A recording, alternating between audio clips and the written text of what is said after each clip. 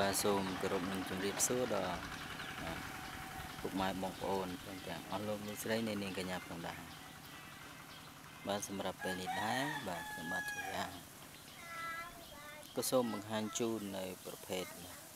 ប្រទាលមួយយ៉ាងបាទដែលកម្រនឹងបានឃើញហើយនឹងជួបប្រទេសណាបាទប្រទេសនេះមានស្លឹកបាទ ជាមេឃ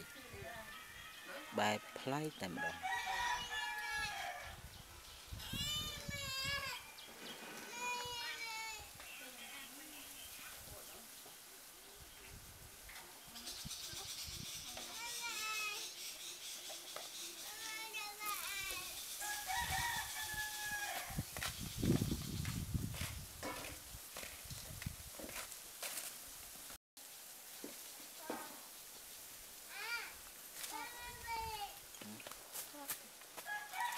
ហោ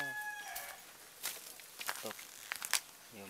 ព្រៃ អ៊ំអ៊ំឯងទៅថតនៅដីខាងនោះហើយអ៊ំ